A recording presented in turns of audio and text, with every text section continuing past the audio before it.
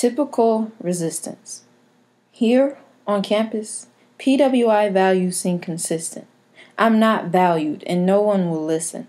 I can't help but to play out this bad hand that I've been given. Things have never been easy, but I can't help but to keep on living because it's typical resistance.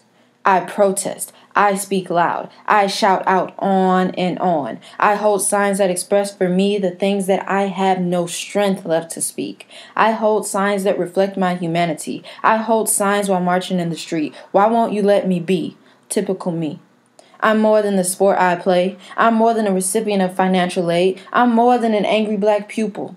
I am happy, serene, and youthful. I am more than a statistic. I am young, carefree, and artistic. I am more than my skin's pigment. Merely my existence in this white space serves as typical resistance. Plessy versus Ferguson kept me out. Those shots in Ferguson broke me down. On my walk to Ross, I think of the cops that accosted Aura Rosser here in Ann Arbor. Violence surrounds me. My conscience hounds me. Thinking I should be doing more for my people. Feeling like my black skin depicts me as evil. But then I remember. My existence in white spaces is typical resistance.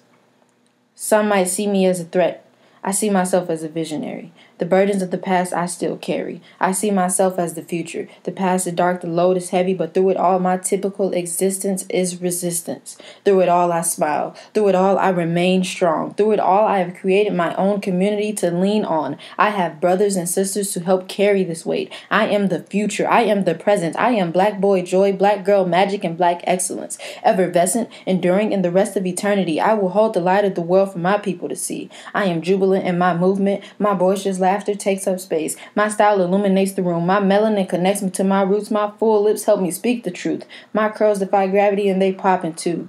I exist to resist the negative representation of my community. I exist to spark the flame that lights the world and fills it with love for you and me. For at times I may feel alone. I have realized that I am not on my own.